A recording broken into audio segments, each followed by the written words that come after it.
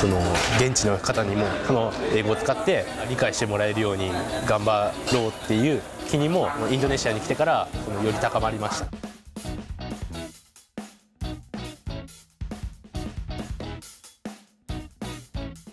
世界を舞台に働くためにはどんな力がいるのか実践を通して先行している経営の知識をもっと学びたいそんな思いを胸に2017年夏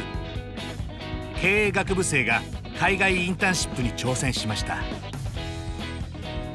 訪れたのは大小1万7,000以上の島々に約300もの民族が暮らし多様な文化を育んでいる赤道直下の島国インドネシア共和国。首都のジャカルタには東南アジア10カ国からなる ASEAN の本部もあり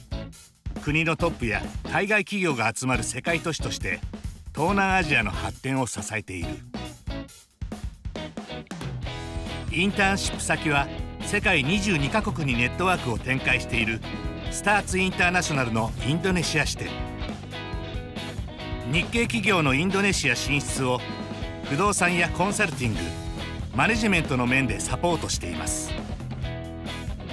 インドネシアとかこういう東南アジアのエリアっていうのはまだまだ日本の企業が全部が全部出てきてなくて、えー、特にこういう東南アジアに携わる時には新規事業で行ってこいっていうようなケースが多いのでそういう時にどうやったら自分たちの商品が売れるんだとか、えー、どうやったら利益が出るかっていうのはもう日本の比じゃないぐらい考えなければいけないですね。でそういうところをこう間近で見て、えー、自分がそういうふうな立場になった時に思い出してもらって考え方というかあそういうものをこう、ね、あの社会人になった時にこうアウトプットできるようなあ経験を今してもらえたらいいなとは思いますよね。現地のスタッフに混ざり働きスターツコーポレーションが扱っている物件の紹介を担当街へ出て不動産を管理している方々から情報収集をしたり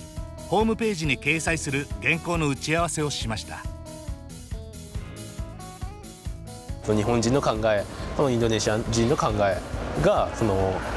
集まってまたそれいい考えがどんどんいいアイデアが浮かんでくるのでそこをまた興味深いんじゃないかなとは思いますね。